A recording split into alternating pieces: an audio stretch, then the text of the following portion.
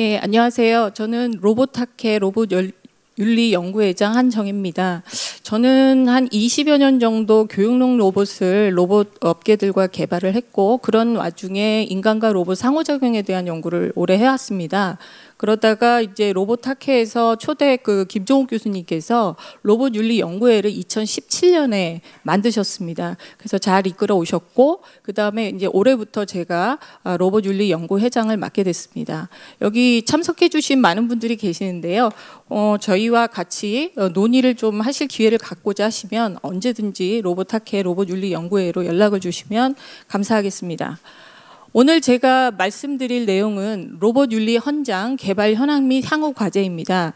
이 그 발표를 위해서 지난 4개월 동안 저희 한국 로봇 학회 로봇 윤리 연구회 분들과 그다음에 로봇산업진흥원에서 추천하신 여러 그 산업계 분들과 그다음에 법조인, 철학자 그리고 인공지능 윤리 관련 어, 전문가와 함께 어, 논의된 결과를 제가 대신해서 발표를 하도록 하겠습니다. 아, 대표해서 발표를 하도록 하겠습니다.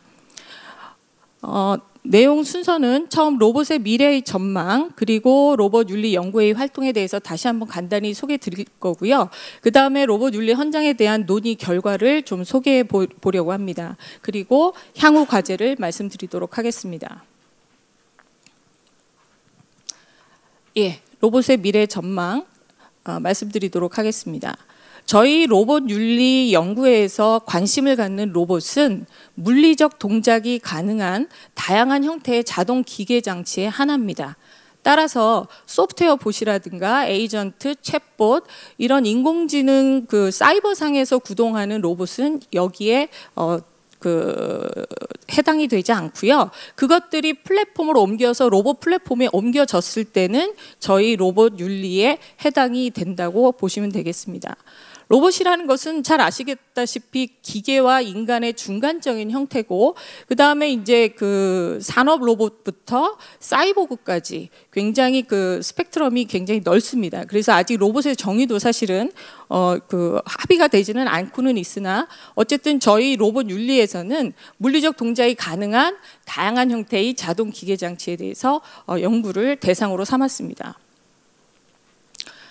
어, 그 지금 그 로봇의 미래와 그 윤리 이슈가 굉장히 그 이슈가 되고 있는 이유가 잘 아시겠지만 이제 산업용 로봇에서 우리 그 생활로 원격 로봇, 배송 로봇, 의료 로봇, 돌봄 로봇, 웨어러블 로봇까지 그리고 식당에 가면 또 서빙 로봇도 있지 않습니까?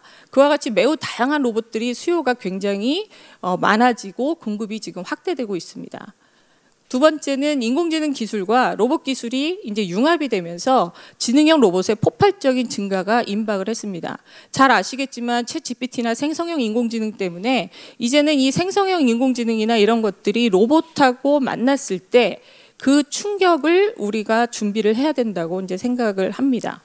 그리고 아까도 말씀 그 말씀해 주셨지만 원장님께서 지금 일반 인공지능 AGI가 개발됐다, 개발되지 않았다 이런 논의까지도 지금 어, 오가고 있습니다. 기업에서 아직 오픈을 하고 있지 않아서 그래서 일반 인공지능 시대가 지금 굉장히 근접해 왔기 때문에 우리들이 이것에 대한 그 이슈를 어, 공론화하고 어, 준비를 좀 해야 할 그런 시기라고 생각이 듭니다.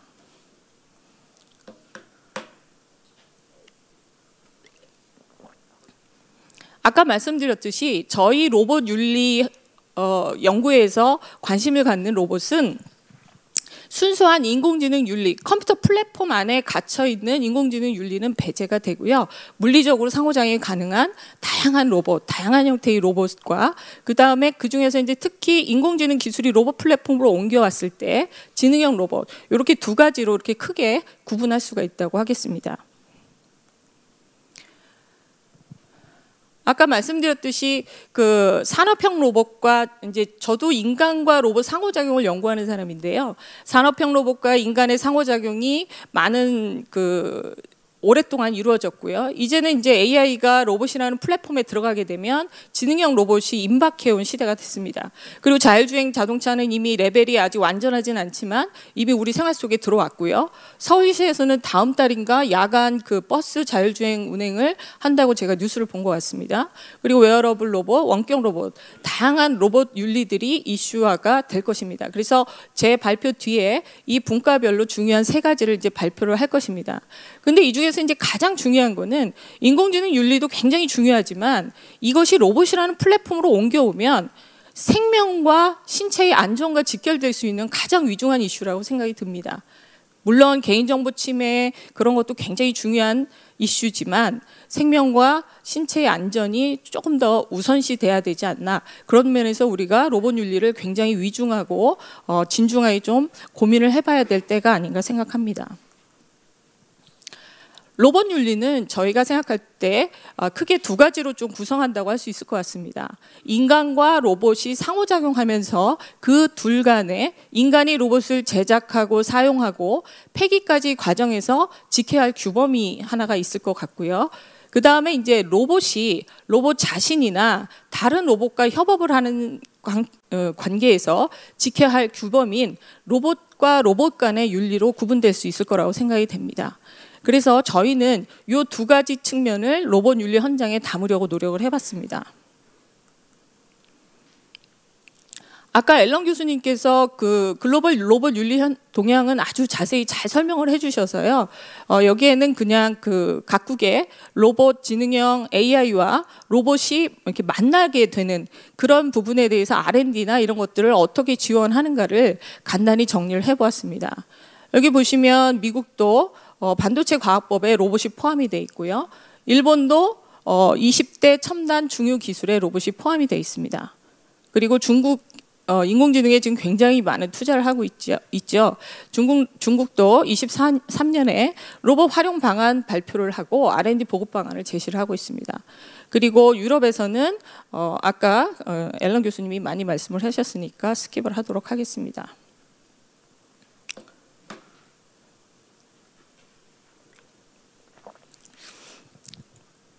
예, 이번에는 저희 로봇 윤리 연구의 활동에 대해서 소개를 해드리도록 하겠습니다. 저희 로봇 윤리 헌장은 원래 그 지능형 로봇 개발 보급 촉진법 제18조에 로봇 윤리 헌장 등의 제정이라든 규정이 좀 있습니다. 그런 규정에 따라서 저희 그 산자부나 그리고 로봇 학회 그 로봇 관계자분들께서 2007년부터 어 작업을 좀 하셨습니다. 어 저는 2007년에 잠깐 조금 참여를 했었고요. 2018년에 이제 본격적으로 좀 참여를 하게 됐는데요. 2007년에는 6개 윤리 원칙과 그 다음에 설계자, 제조자, 사용자의 규범을 부칙으로 제정한 초안이 발표가 됐었고요. 2015년에는 6개의 기본 원칙으로 어 조금 어 내용을 어 2017, 2007년 거를 보완해서 또 연구가 되었습니다. 어, 이것이 이제 대외적으로 발표는 되지 않았고요. 2018년에 지능형 로봇, 지능형 인공지능 로봇을 중심으로 한 로봇 윤리 헌장 안, 제가 볼 때는 그래도 기, 기본 틀을 갖춘 연구가 2018년이 아, 좀 이제 본격적이라고 볼 수가 있겠습니다. 그래서 세 가지 기본 가치, 인간의 존엄성 보호, 공공선의 추구, 인간의 행복 추구, 그리고 다섯 가지 실천 원칙인 투명성, 제어 가능성, 책무성, 안정성, 정보보호 이렇게 연구를 한 어, 사례가 있습니다. 이번에 저희들은 로봇 윤리 연구를 하, 어, 진행을 하였고요. 세 개 부분에 대해서 가이드라인을 좀 고민을 해서 개발을 해보았습니다. 그리고 이러한 윤리 포럼을 통해서 모두 다 같이 한번 머리를 맞대고 산업계 그리고 철학 그리고 일반 시민까지 포함해서 이런 포럼을 통해서 공론화를 하고 서로 의견을 소통하고 하는 장을 가지려고 하고 있습니다. 저희가 지난 4개월 동안 한 25명의 위원분들께서 함께 굉장히 고민하고 같이 고민하시고 이제 그 연구를 해왔습니다. 어, 총괄 분과가 있었고요. 세 개 그 소분과가 있습니다. 이따 발표를 해주실 텐데요. 그래서 저희가 그 25분이 계셨지만 사실 로봇 윤리의 연구에 직접적으로 참여하시지 않으시, 않으신 분들이 그 리뷰까지 해주셨기 때문에 실제로는 한 35명 정도 분이 이렇게 참여를 하셨다고 보시면 되겠습니다. 예, 본격적인 로봇 윤리 헌장에 대한 저희 논의 결과를 좀 말씀을 드리도록 하겠습니다. 로봇 윤리 헌장은 어, 설계자, 제조자 이런 사용자보다는 전체적인 대국민을 대상으로 지능형 로봇 서비스 촉진법 등법 제도 규범을 정립하기 위한 기본 가치와 윤리 지침을 규정하는 헌장이라고 저희는 생각을 합니다. 아까 그 앨런 교수님께서도 말씀하셨지만 윤리라는 것이 윤리 헌장이라는 것이 가장 상위 개념이기 때문에 그것이 제정이 돼야 표준 그리고 규제가 이렇게 아, 규제가 아니라 규정들이 이렇게 나오기 때문에 어, 이 윤리 헌장은 어, 조금 어, 많은 사람들의 의견을 고려를 하여 어, 어, 구성이 되어야 된다고 생각을 합니다. 그리고 어, 로봇 윤리 헌장은 인간의 더 나은 삶을 위한 로봇의 제작, 생산, 사용자까지 들어갑니다. 생산을 위한 세 가지 어, 생산을 위해서 저희는 세 가지 기본 가치와 이를 반영한 여섯 가지 윤리 원칙으로 구성을 하였습니다. 아까 2018년에도 로봇 윤리 헌장 초안이 개발이 되었지만 이번에는 조금 더 그걸 심도 있게 논의하고 해서 로봇 윤리다운 그런 그 가치로 한번 정리를 해보았습니다. 저희가 이제 세 가지 기본 가치로서는 첫 번째 인간을 이롭게 하는 로봇입니다. 예, 이름하여 홍이 로봇이라고도 할 수가 있을 것 같은데요. 인간을 이롭게 하는 로봇이어야 된다. 그게 첫 번째 가치고요. 두 번째 가치는 신뢰할 수 있는 로봇입니다. 세 번째 가치는 공공선을 추구하는 로봇입니다. 그 밑에 하위 개념으로 여섯 가지 저희가 원칙을 세웠는데요. 침해를 금지해야 된다. 그리고 안정성, 투명성, 책임성, 공정성, 지속 가능성을 고려를 해봤습니다. 어, 저희는 저희가 연구를 진행함에 따라서 엘런 교수님의 그 발표 자료를 받지는 못했습니다. 그럼에도 불구하고 아까 엘런 교수님 발표를 보니까 저희 거하고 너무나 잘 맞아 떨어져서 저희가 얼마나 연구를 열심히 같이 잘했나 이런 자부심이 좀 생겼습니다.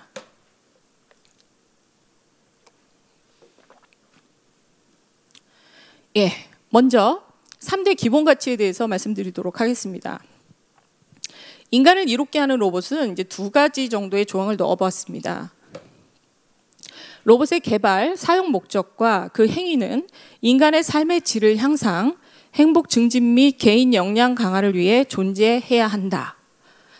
둘째, 로봇은 인간의 존엄성, 자유, 평등, 인권 등 기본권을 보호할 수 있도록 설계, 제작, 공급, 사용, 관리되어야 한다라고 정해보았습니다. 두 번째 가치입니다. 신뢰할 수 있는 로봇입니다. 첫 번째 조항은 로봇은 동작함에 있어 인간의 안전을 확보해야 된다. 저희는 이게 가장 중요하기 때문에 가장 어, 선행해서 조항을 작성해 보았습니다. 둘째, 로봇은 목적과 의도에 부합되게 동작하는 신뢰성을 확보해야 된다. 이게 이제 두 번째고요. 세 번째, 로봇의 외형은 인간과 구별이 가능해야 하며 로봇 간 식별이 되어야 한다라고 해보았습니다. 아까 그 영화에서 보셨, 보셔서 아시겠지만 아이로봇 같은 영화에 보시면 모든 로봇이 똑같습니다. 똑같이 생겼거든요. 자, 그런데 그 X 뭐죠? 그 로봇에는 뒤에는 앞에는 저 안드로이드고 뒤에는 이렇게 로봇이라서 누구라도 보면 로봇이라는 걸 알 수 있죠. 그래서 이런 부분이 있어야지 우리가 로봇인지 사람인지를 구분하는 것이 상호작용에서 대면이기 때문에 가장 먼저 선행되어야 되는 거기 때문에 이런 조항을 넣어 보았습니다. 세 번째, 공공선을 추구하는 로봇입니다. 로봇은 사회의 복지 향상과 공공복리에 기여하도록 설계, 제작, 공급, 사용, 관리되어야 한다. 그래서 여기에 보시면 설계자, 사용자 모든 대국민을 포괄하는 그렇게 어, 작성을 해보았고요. 둘째, 로봇과 인간의 협업 그리고 로봇끼리의 동작은 로봇 어 이제 그 로봇은 이게 이동성이 있고 그 다음에 객체로 분리가 되기 때문에 물리적으로 분리돼서 존재하는 거기 때문에 이 로봇끼리도 협업이 가능해서 마지막 end user 사람한테 갈, 어, 가는 상호작용을 할 수도 있습니다. 그래서 저희는 로봇과 인간뿐만이 아니라 로봇 간까지의 동작은 공공선에 위배되어 되지 않아야 한다 이렇게 추가해 보았습니다.